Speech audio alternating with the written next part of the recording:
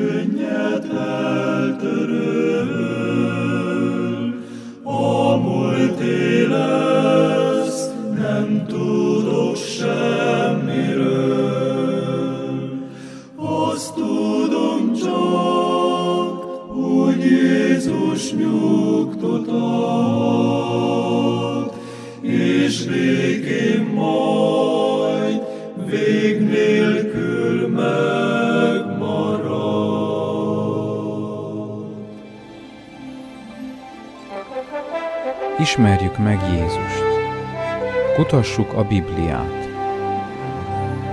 Lépésről lépésre.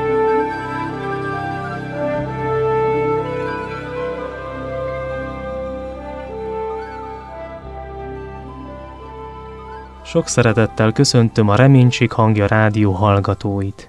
Önök a Lépésről Lépésre című műsort hallgatják.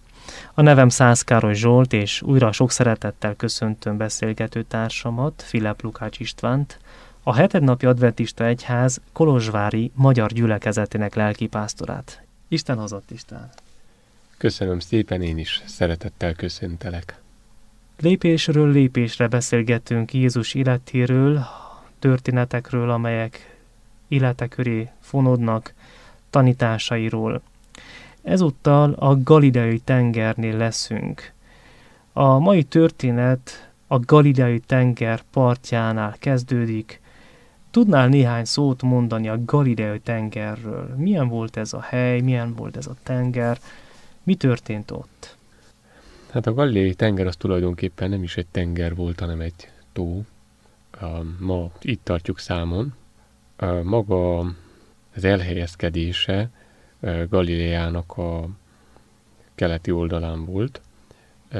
Egyrészt nevezték Galilei tengernek, másrészt Tiberiás tavának, mivel hogy Tiberius, Tiberius császár palotát építetett a környékén. Az arabok, az arabok ma is inkább ennek megfelelően nevezik a, a tavat. Érdekessége, hogy a Föld legalacsonyabban fekvő édesvízű tava.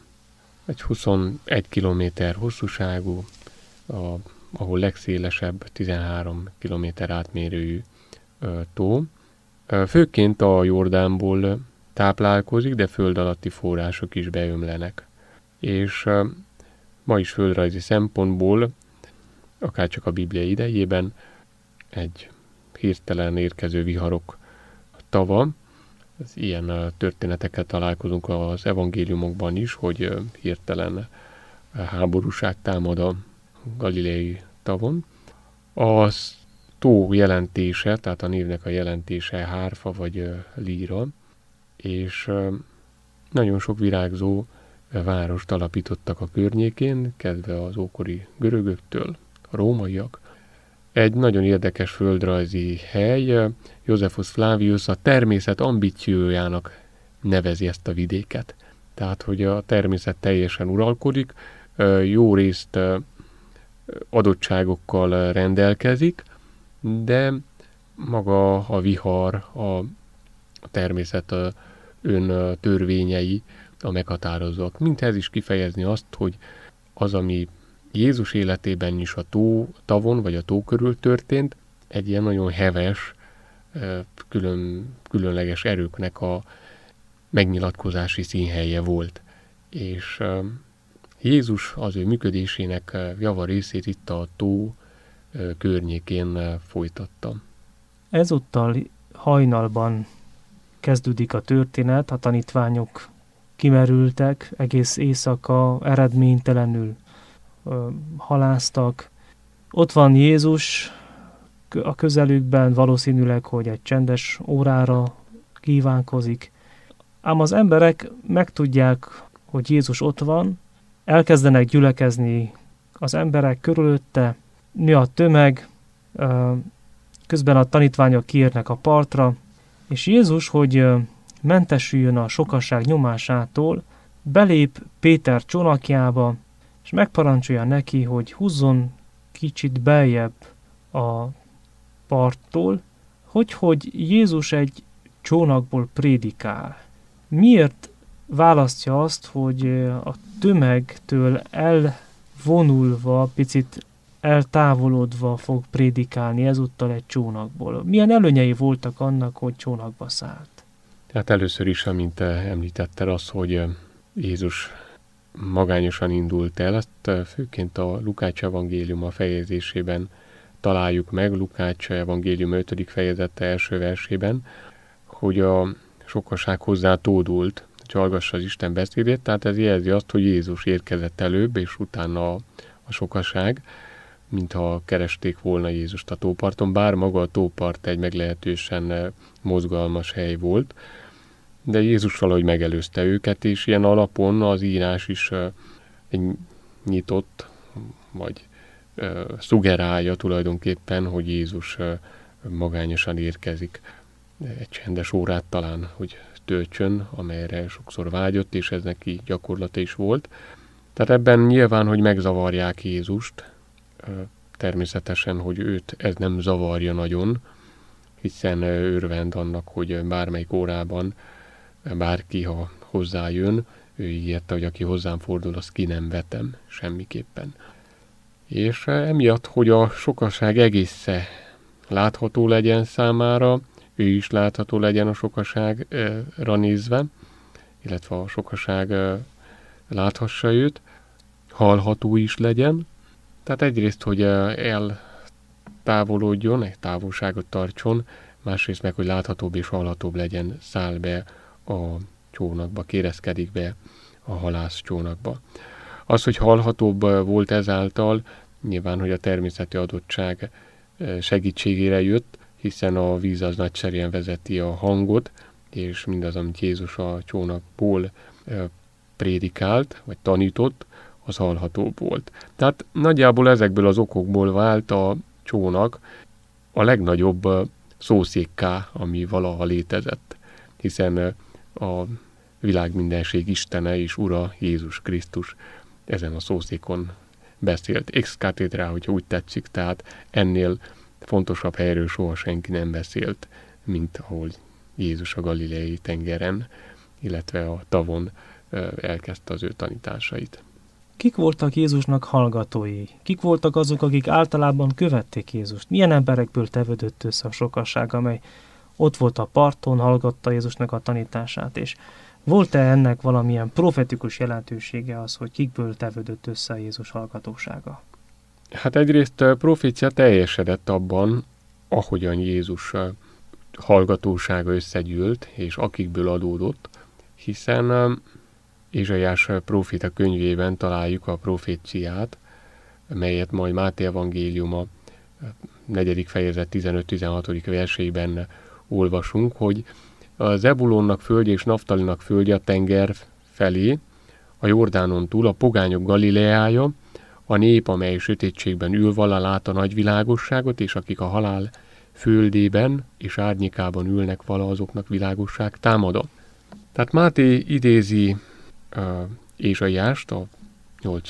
századból Krisztus előtt, aki egy csodálatos proféciát ír Zebulon és Naftali földjére nézve, amely később már a Jézus idejében pontosan ez a Galilea, a Jordántól a tenger felé, tehát a, pontosan otthon vagyunk ebben a, a proféciában, földrajzilag, és Máté evangélista viszont úgy látja, úgy érti, nyilvánvalóan teljes joggal, hogy a Ézsaiás proféciája most teljesedik, amikor Jézus Krisztus Galileában elkezd ö, prédikálni. És ebben az ígében azt találjuk, hogy a pogányok Galileája. És ez egy fogódzó arra nézve, hogy kik vagy kik is hallgathatták a Jézusnak beszédét. Hogyan vált Galilea a pogányok Galileájává? Ézsaiás nagyjából Krisztus előtt 800-ban, vagy a 8. században, inkább 730-as években, profétál abban az időben, amikor az asszíriaiak elfoglalták az északi Izraelt. Ők voltak az északiak az elsők, akik elszenvedték az asszír inváziót. Őket vitték el elsőként Asszíriába, és tulajdonképpen tehát az északiakat, a, a Zebulon és Naftali földét, a későbbi Galilea területét, ami a későbbi galileai területnek felel meg, és elvitték a tíz törzset Asszíriába, az asszír uralom különböző pogány népeket telepített be a korábbi zsidó területre, majd később, a 70 éves fogság után kezdenek a zsidók visszaköltözni, főként Babilonból, tehát a, inkább a judeaiak, és létrejön Északon Galileában egy nagyon színes tömeg egy nagyon színes közösség, pogányokból és zsidókból. Általában a zsidók nem a legvallásosabb zsidók voltak. Tehát Galileából ugye nem támadt profita sem. A múlt alkalommal erről tárgyaltunk. Viszont a természeti adottságuk, és főként az, hogy a, egy fő kereskedő útvonal mellé, vagy útvonalba esett ez a Galilea, Emiatt a lakosság nagyon színes volt. Tehát pogányok, zsidók, gazdagok, nyilván szegények is, halászemberek, ahogy ilyenkor szokott lenni, ahol a gazdaság fellendül, nagyon sok elnyomott is van. Tehát egy nagyon színes közösség hallgatja a pogányok Galileájában Jézust, és úgy néz ki, hogy ez a terület sokkal fogékonyabb az evangélium hirdetésére, valamint annak befogadására és csodáira, mint a déli Judea, ahol a vallásos zsidóság élt. Egyrészt, mint említettem, egy profécia teljesedett ebben. Másrészt meg nyilván ez kifejezi azt, hogy Jézus mindenféle fajta emberhez szívesen odafordul. Tehát a gazdagokhoz, a szegényekhez, a egészségesekhez, a betegekhez. Ez egy, ez egy nagyon színes közösség volt, a galileai közösség, és tulajdonképpen mindenféle rendű rangú ember ma is be, besorolható volna a Galilea lakosságába. Tehát ilyen szempontból is van egy üzenet, hogy Jézus igazából mindenkit megszólít. Tehát ebbe a csoportba, amelyik Jézust követte és hallgatta, nyugodtan bele tudjuk magunkat is sorolni, hogyha nyitott szívvel, érdeklődéssel keressük azt, hogy Jézus tanítását meghallgassuk, megszívleljük. Nagyon kevés van leírva arról, ami történik a Lukács evangélium a 5. fejezetében. Semmit nem találunk arról, hogy pontosan ez alkalommal Jézus mit tanít a sukaságnak. A harmadik vers mondja el, hogy bemenvén az egyik hajóba, amely a Simonival, kéri őt, hogy vigye egy kissé beljebb a földtől, és mikor leült a hajóból tanítál sokanságot. Majd a következő vers rögtön azt mondja, mikor pedig megszűnt beszélni, monda Simonnak evez a mére, és vesétek ki hálóitokat fogásra. Tehát nem ismerjük pontosan azt, hogy ez alkalommal Jézus miről is prédikált. Sok prédikációja van följegyezve az evangéliumban, viszont ezúttal ez hiányzik. Ugyanakkor azt látjuk, hogy beszéde végeztével Jézus Péterhez fordult, megparancsolta neki, hogy evezzen beljebb a tengerre, és vesse ki hálóját. Péter a következő versben válaszol, az ötödik versben, és ezt mondja. Felelvén Simon, mondanéki, Mester, jól lehet az egész éjszaka fáradtunk, mégsem fogtunk semmit, mindazáltal a te parancsolatodra levetem a hálót. Meglepő, ugyanakkor tanulságos is Péternek ez a válasza. Az ő tapasztalata egyet mond, Jézus ellenben mást. Az ő tapasztalata az volt, hogy hiába fáradoztak egész éjszaka, Jézus parancsa pedig az, hogy menjen el és vesse ki a hálót. Ha Péter válaszára gondolunk, akkor szeretném egy mai ember életére alkalmazni ezt a helyzetet. Mit tegyen egy ember, egy mai ember, ha a Szentírásban olyan igazságot vagy parancsot fedez fel, aminek nem látja az értelmét az emberi logika alapján. Mire hallgasson? A logikájára, vagy arra, amit felfedez a Szentírásból?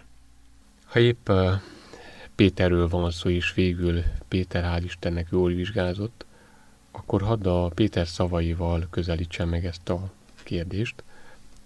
Nyilván, hogy itt még Péterben a saját rációja és az Jézus Krisztus parancsa még ütközik, végül pedig szerencsésen Péter mégis az Isten szavának, Jézus szavának engedelmeskedik. Ez a kezdő Péter Jézussal való tapasztalatok elején, akiben ütközik a ráció és ütközik a Jézus szava.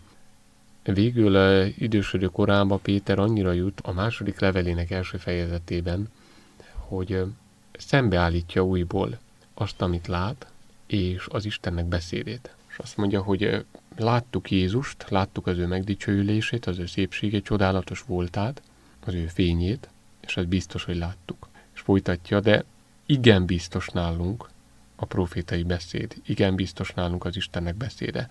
Tehát azt mondja Péter, hogy amit látunk, az biztos, amit pedig az Isten mondott, az igen biztos. Hangsúlyozza, hogy igen biztos.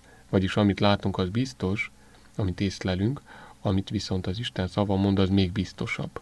És Péterben öregkorára ez nagyon egyértelművé vált, hogy az, amit az ember tapasztalatilag felfog, az érzékszerveivel felfog, vagy a gondolataival, ami még inkább kisebb tekintély kellene legyen, mint akár az ember tapasztalata vagy érzékszervei, az semmiképpen nem esik olyan súlyjal ladba, mint az, amit az Isten igéje mond. Tehát mindenek fölött az Istennek igéje, az Istennek beszéde, annak alávetni a rációt, a tapasztalatokat, és ezt Péter nagyserén megtanult életének végére, hogy igen biztos mindenek fölött az Istennek beszéde az, amit Isten mond.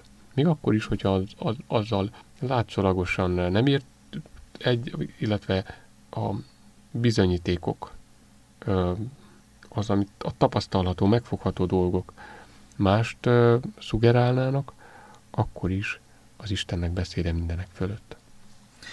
Nagyszerű példát ad Péter az engedelmességre.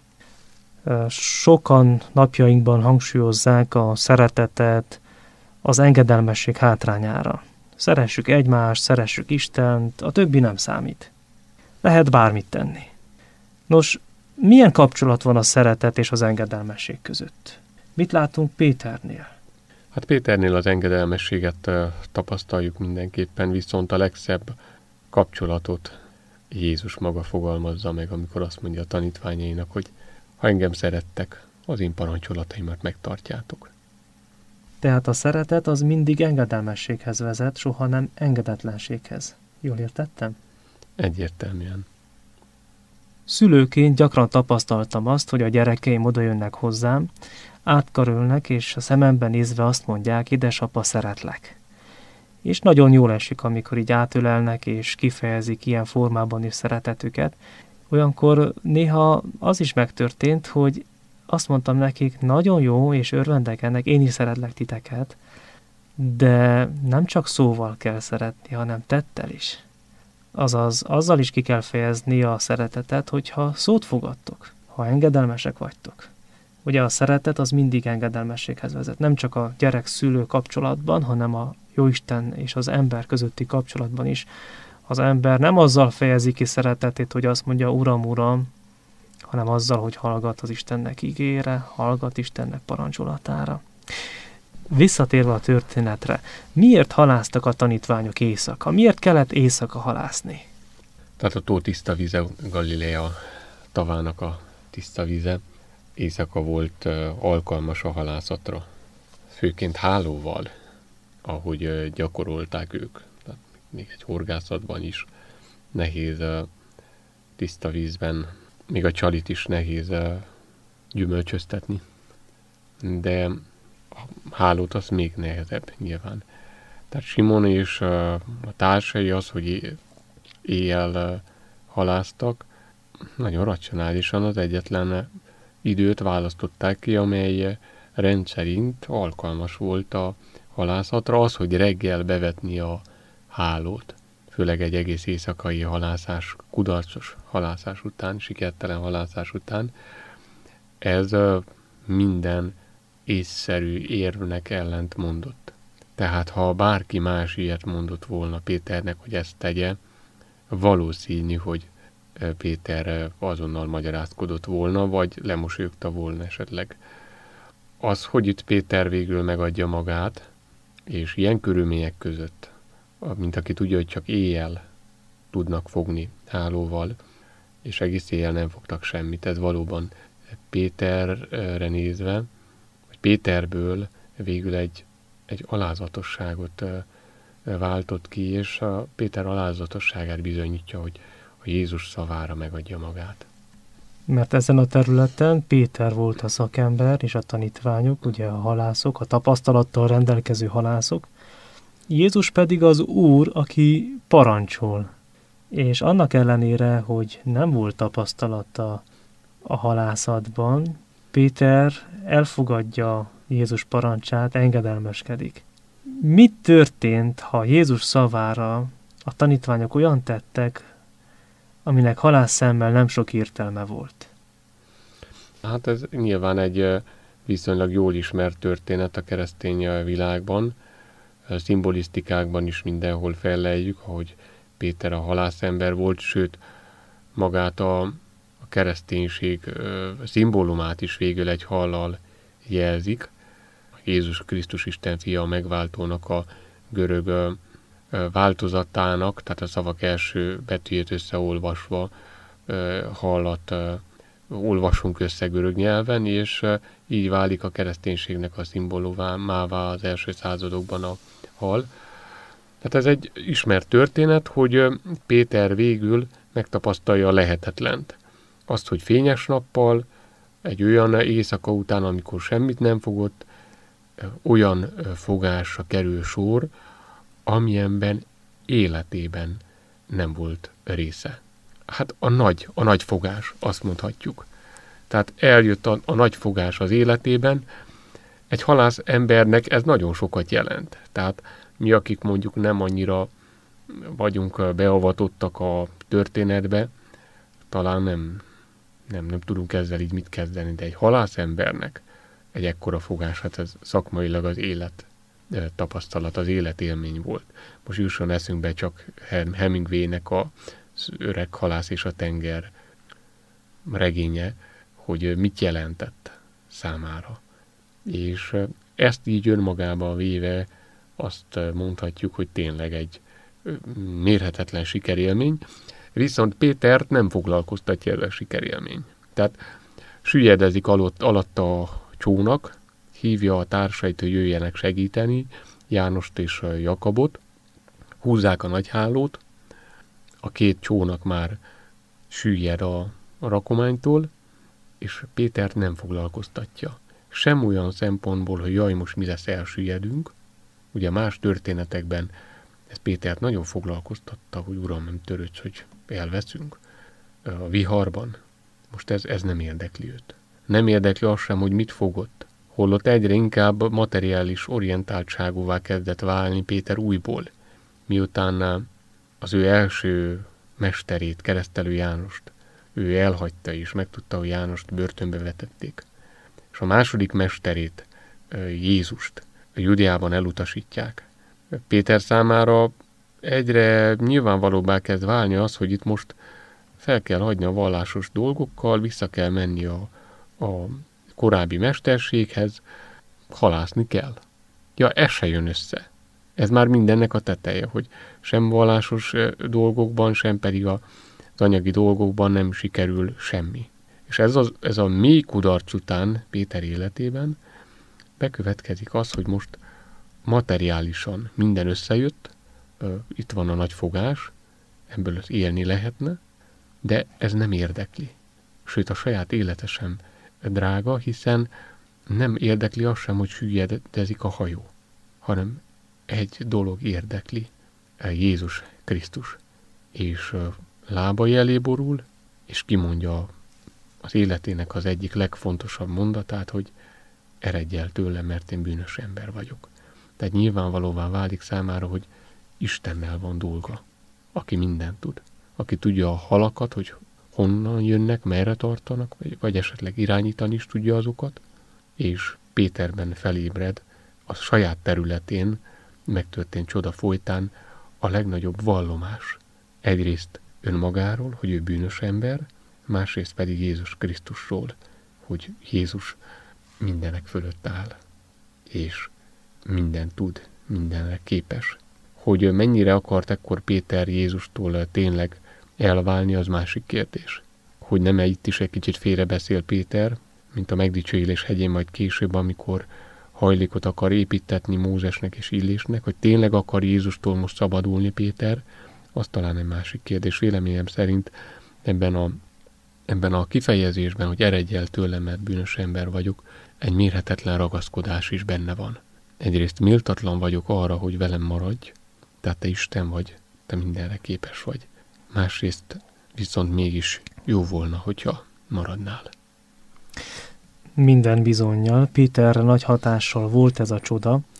A nyolcadik versben van leírva ez a viselkedése, amiről beszéltél, hogy Jézusnak lábai elé esett, és ezt mondta, eredj el én tőlem, mert én bűnös ember vagyok, Ura. Azt látjuk, hogy Péter helyes szemmel látja önmagát, és helyes szemmel látja Jézust. Jézus jelenlétében felismeri az ő bűnösségét, és Jézus csodája során, vagy ez is megerősíti benne azt a tudatot, hogy az, aki ott van a csónakjában, a hajójában, az Úr.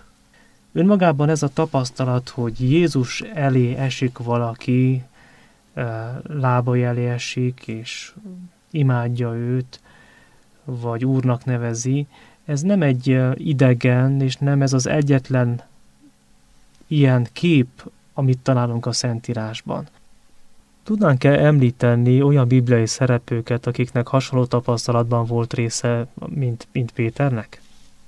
Tehát itt gondoljunk a Péter leborulására Jézus Krisztus előtt, ugye ez volt az utolsó igen, igen. gondolatunk. A felismerés, tehát a reveláció nagyon sok esetben prosternációt váltott ki, imádatot váltott ki Isten embereiből. Például az említett Ézsaiás próféta, amikor látomásban megérti az Istennek szentségét, akkor felkiált, hogy jaj, nekem elvesztem. Az hiszen az Isten látták az én szemeim, és én bűnös vagyok. Tehát a bűnös mi voltom, és a bűnös mi voltomban Isten szín előtt lenni, ez kockázatot jelent. Jó lehet, ő majd látja az angyalokat is, akik elrejtik az arcukat Isten színe elől, bár ők szentek. és a szent angyalok is elrejtik arcukat Isten előtt, tehát nem csak egy hamatológiai, nem csak egy bűnkérdés az, hogy az Isten az emberrel találkozhat, hanem egy természeti kérdés és egy ontológiai, hogy, hogy mivel hogy az egyik teremtő, a másik meg teremtmény, ezért az angyalok is elrejtik arcukat Isten előtt, de annál inkább a bűnösök. Aztán Dániel profétát is hasonló helyzetbe találjuk, akiről mi úgy emlékezünk ma, mint egy szentről, és ő is, amikor meglátja látomásban az, is, az embernek fiát, magát Jézus Krisztust, akkor mint egy holt esik le a, hát a 9. fejezettől lényegében, 10. fejezettől Dániel könyvében, ebben az élményben van Dániel, vagy, vagy János evangélista, amikor Jézus meglátogatja, hogy szintén látomásban a Pátmos szigetén leesik, mint egy holt. De Jézus földi élete során is találkozunk személyekkel, akik lehajolnak, akik Jézus lábai alá eléesnek. Számomra a legszebb az az alkalom, amikor a János Evangélium a 11. fejezetében Jézus elvégzi a legnagyobb csodáját, készül Lázárt feltámasztani, és miközben Márta Jézussal érvel, meg teológiai vitákat vív, meg, meg val, Mária csupán lehull, csupán idézőjelben a legtöbbet teszi, lehull Jézus lábai elé, és leborul előtte, és ezzel kifejezi azt, hogy te mindenre képes vagy.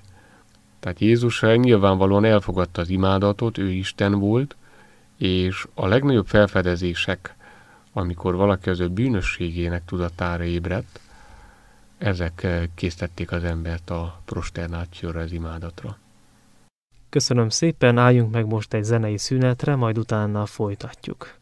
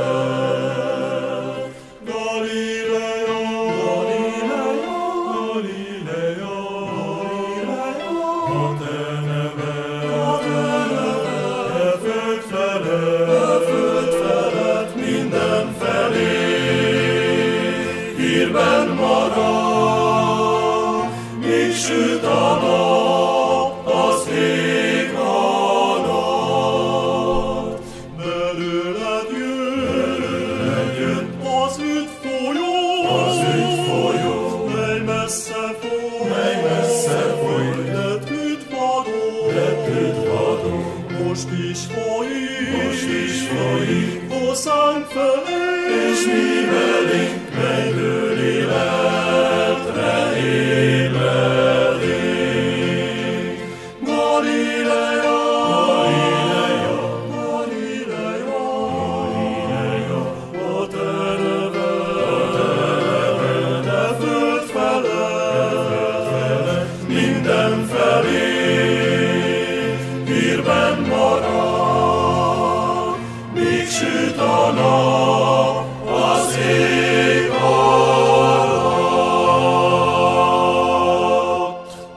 Kedves hallgatók, Önök a Reménység Hangja Rádiót hallgatják, a Lépésről Lépésre című műsort. Beszélgető társam Filip Lukács István, adventista lelkipásztor.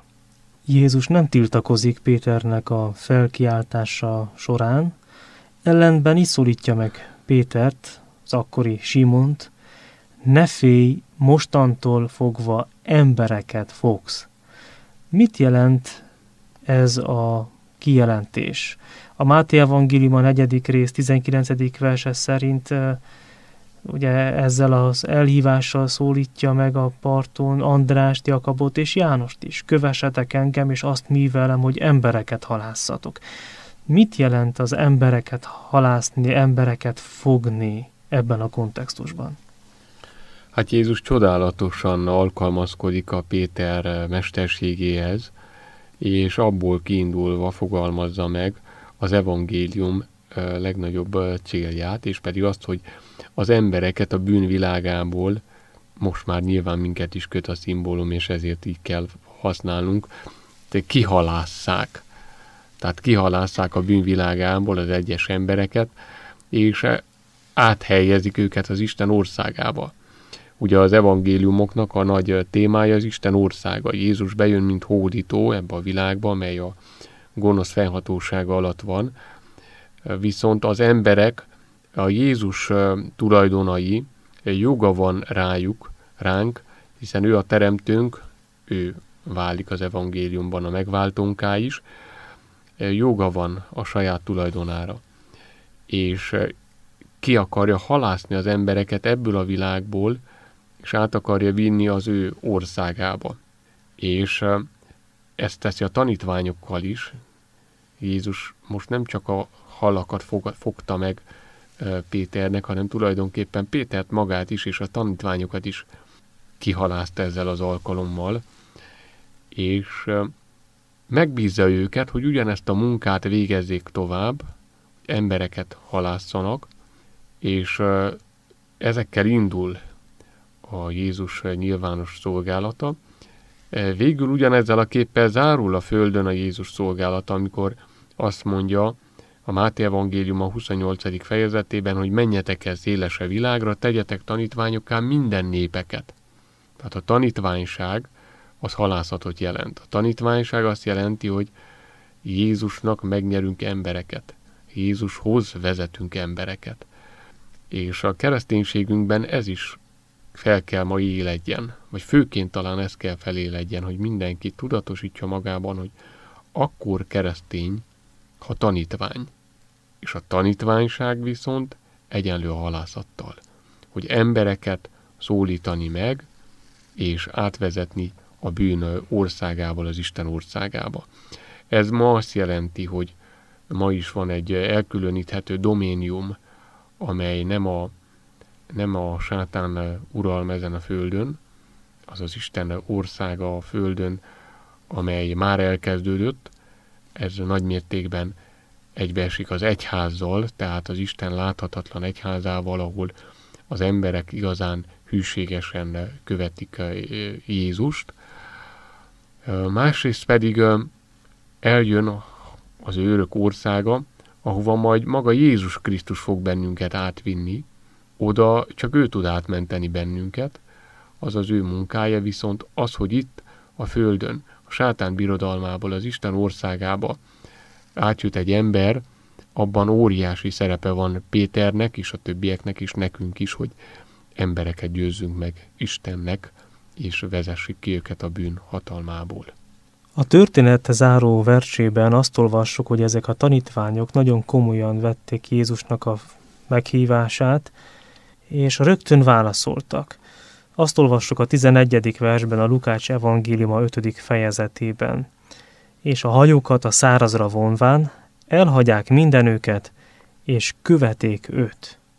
Hát minden bizonyal nem volt ez kis lépés a részükről, és már is próbálom alkalmazni ezt a példát, tettüket a mai napra. Milyen formában kéri Jézus ma ugyanezt az ő követőitől? Mit kell elhagyni ma annak, aki Jézust szeretné követni? Róluk azt olvassuk, hogy hogy mindenüket elhagyták és követték őt. Ma mit kell elhagyni annak, aki Jézus szeretné követni? Nagyon nagy kérdés, és ez volt tulajdonképpen a Jézusi szolgálatnak a, a nagy útelágazása. Hiszen egyesek követték Jézus tovább is, mások csak egy bizonyos pontig. Mindenki számára kedves volt az, amit Jézus felajánlt, viszont miután Jézus megmutatta annak a szépségét, annak dicsőségét, az ő országának a szépségét. Ugye Péternek is itt bemutatkozott Jézus, hogy én képes vagyok, hatalmas vagyok arra, hogy akár a világ összes halát egy hálóba kerítsem és neked adjam. Miután látták a Jézus hatalmát, utána hívja el őket Jézus. Tehát ez nagyon fontos, hogy még mielőtt valaki egy mély tapasztalatot nem szerez Istennel, addig Isten nem kér őtől a, a, az áldozatot. Viszont amikor ez megtörténik, akkor Péternek szól, hogy most akkor hagyjatok ott mindent, és kövessetek engem. És elhagynak mindent örömmel, felhagynak az a korábbi foglalkozásukkal, nem halásznak már, vagy legalábbis nem úgy űzik ezt a mesterséget, mint korábban, megélhetésük folytán, nem ezzel töltik idejüknek nagy részét, hanem beállnak a Jézus szolgálatába, nézik, hogy Jézus mit tesz, ugyanazt teszik ők is, szolgálnak Jézusnak, szolgálnak Jézussal, és tulajdonképpen Jézus őtőlük mindent elkért, és később Jézus megfogalmazza majd, hogyha valaki én utánam akar jönni, tagadjon meg mindent az életéből, vegyen búcsút a javaitól, és úgy kövessen engem. Tehát a Jézus vallás az egy totalitárius vallás. Jézus mindent kér. Mindent kér. Tulajdonképpen mindent az ember, aki Jézust követni akarja, a Jézus rendelkezésére kell bocsátania. De mindent ad. És itt van a nagy kérdés, hogy látja az ember, hogy Jézus mit ad.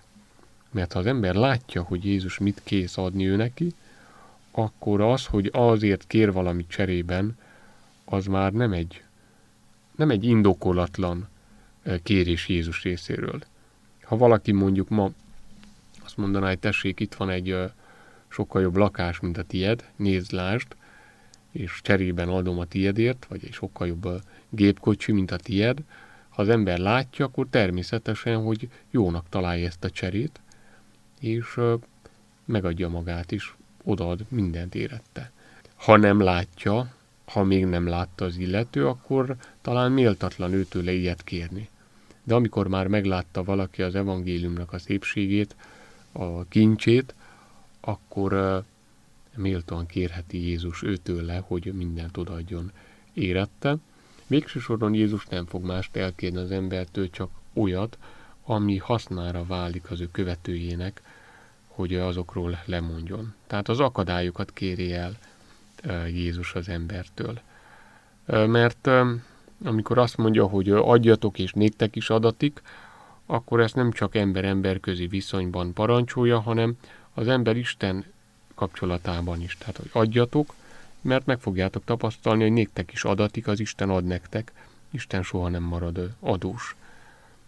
És az ő kegyelmének felséges gazdasága szerint meg fogja jutalmazni azt, aki az ő szolgálatába szegődik. Igazából legyünk őszinték, mit tudnánk adni Istennek, amit ne tőle kaptunk volna előbb? Bármit is adunk, csak olyasmit adunk, amit úgy kaptunk tőle.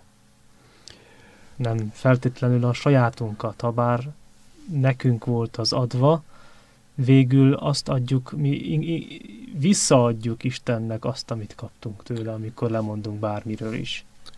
Ellen White a 19. század, 20. század elején élő vallásos író a Jézushoz vezető út című könyvében, amelyet különben nagyon nagy szeretettel ajánlok minden kedves hallgatónak, az egyik legjobb könyv, amely a Biblián kívül íródott, nagyon meghatóan fogalmazza ezt a kérdést, hogy mit adhat az ember az Istennek, és válaszolja, válaszolja meg a kérdést egy bűnöktől beszennyezett szívet, egy összetört életet, ezt adhat az ember Istennek, azért, hogy Jézus azt megtisztítsa, és visszaadja az embernek.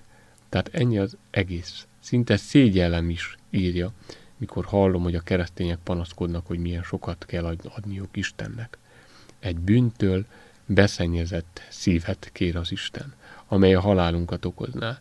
Azért kéri, hogy ezt megtisztítsa. Elveszem tőletek a kőszívet, és adok helyébe hús szívet, mondja Jézus Krisztus. Tehát ez a csere mindenképpen egy csodálatos csere az ember számára, csak bele kellene gondolnunk, meg kellene gondoljuk azt, hogy mit ad érette Jézus, és azt, amit elvesz tulajdonképpen, ami kárunkat szolgálná, hogyha megtartanánk, ha hozzá ragaszkodnánk.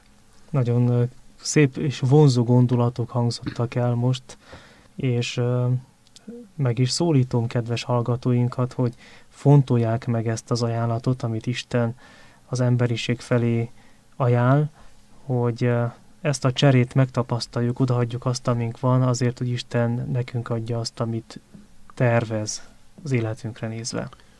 Végül, hogyha belegondolunk, tehát nem csak lelki szempontból, hanem, hanem jellem szempontjából, szellem szempontjából, annak legnemesebb értelmében, mit kaptak ezek a tanítványok Jézustól. Tehát nagyon egyszerű, szerény halászemberek voltak, és végül ők válnak a világ történelem legnagyobb embereivé.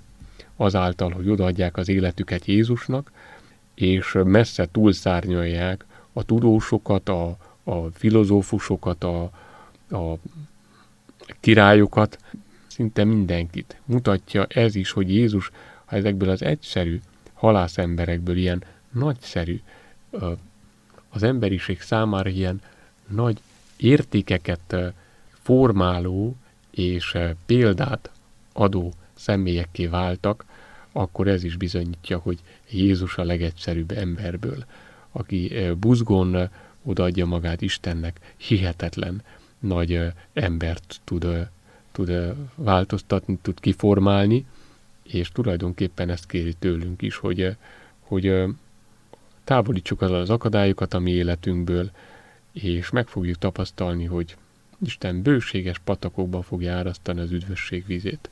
Életünkbe is csatornákká válunk az emberiség számára. Meglepő, hogy az új szövetség nagy emberei, a híres tanítványok, Jézusnak nagy tanítványai, a neves apostolok, ugye Péter, Jakab, János, András, ezek ilyen egyszerű emberek, halászok voltak, akik a saját kezük munkájából tartották el magukat, családjukat. Amikor Jézus követéséről van szó, amikor valaki, idézőjelben mondom, ember halász akar lenni, akkor számít-e valakinek a foglalkozása? Van-e valaki előnyben, hogy mivel foglalkozik, hogy valaki művel, tanult vagy tanulatlan, hogy valaki magasan képzett vagy egyszerű kézmunkás, a földműves, az építkezésben dolgozó, a takarító, egyformán szolgálhatja Istent, mint egy tanár, egy mérnök vagy egy doktor? Hát, ha csupán a 12-re nézünk, akkor azt látjuk, hogy tényleg csodálatos volt az, amit Jézus az életükben elvégzett. Viszont azt is látjuk, hogy Jézus még mielőtt Galileába elkezdett volna tevékenykedni, és még mielőtt megszólítja ezeket a tanítványokat, hogy most gyertek és kövessetek engem, megfordul Jeruzsálemben. És a vezetőséget, a nép vallásos vezetőségét szerette volna megnyerni magának. Ugye erről beszélgettünk a korábbi alkalmakon, és nem sikerül. És utána teszi Jézus azt, hogy az egyszerű embereket hívja el. Tehát nyilvánvaló, hogy az az alap, amelyel valaki rendelkezik, vagy az örökség, az nem egy, most, most gondolok egy, mondjuk egy jó nevelt és egy kulturált emberre, az, az, nem, az nem értéktelen a Jézus szemében. De mivel, hogy ezekkel az emberekkel, a művelt emberekkel Jézus nem tud mit kezdeni, bemutatja azt, hogy mire képes ő akár a leggyengébbekkel is. Természetesen, hogy később majd ott van a pálapostól alakja, akiben mindkettő ötvöződött, tehát mérhetetlen tudás, kultúra és mély alázat és készség Isten irányába. Nem véletlen az, hogy ő válik azért az új szövetség legnagyobb szellemi alakjává.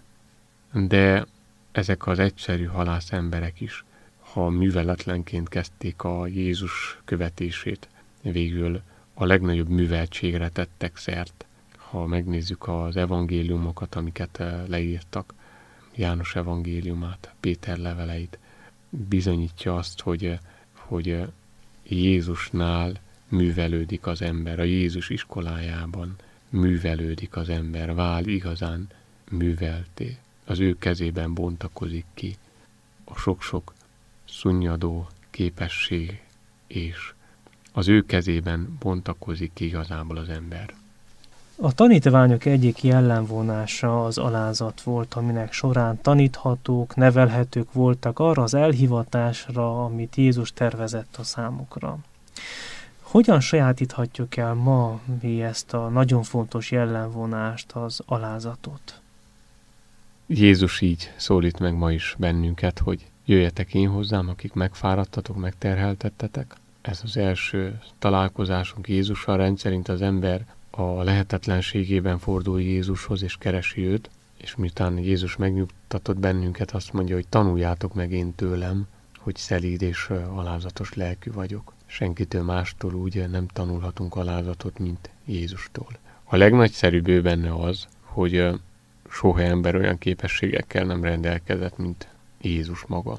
Ő maga Isten, és meg tud alázkodni. Szép dolog, ha egy egyszerű ember megalázkodik, megmarad az alázat útján akkor is, amikor Isten elkezdi őt felemelni. De talán még látványosabb az, hogyha egy nagy ember, nagy tehetségekkel rendelkező ember meg tud alázkodni, és látja az ő, az ő semmis voltát. Igazából minél jobban látja valaki Istent, minél tisztábban ismeri, fedezi fel önmagát, és ebből a Jézusi találkozásból születhet meg az embernek az alázata. Értékes gondolatok hangzottak el a mai beszélgetésben. Isten úgy fogadja az embert, ahogy van, és szolgálatára neveli, ha aláveti magát neki. Jézus egyszerű, alázatos halászokat hívott el, hogy tanítványai legyenek. Képezte, nevelte őket, majd elküldte őket az egész világba, hogy bizonyságot tegyenek az evangéliumról, a megváltásról, amit Jézus biztosít minden bűnös számára. Ma ezeknek az embereknek a bizonságtevése alapján a Szentírásból, amit a Szentlélek ihletésre írtak, mi is részesülhettünk az evangéliumból. Úgy, ahogy akkoriban őket, Isten ma minket is felhasználhat arra, hogy vigasztaljunk, hogy szeretetre és az Isten iránti engedelmességre hívjunk el másokat. Jézus tanítványai lehetünk, és Jézus tanítványaivá tehetünk másokat. Kedves hallgatók, önök a Reménység hangja rádiót hallgatták, beszélgető társam Filip Lukács István volt, a hetenapi adventista egyház Kolozsvári magyar gyülekezetének a lelkipásztora. István, köszönöm szépen a beszélgetést. Én is köszönöm szépen a kedves hallgatóknak a figyelmét, a Isten áldjon meg mindannyiunkat az ő igéjével. Elköszönök én is most a hallgatóktól, Szász Károly Zsolt vagyok, és munkatársam László Attila nevében is köszönöm a figyelmüket. Visszavárjuk Önöket újból jövő héten ugyanebben az órában a rádiókészülékek közelébe. Isten áldását kívánom mindenkinek életére.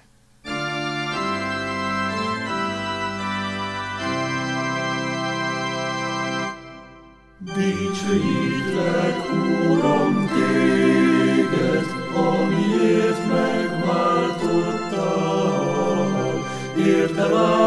áldoztad szent véred, oda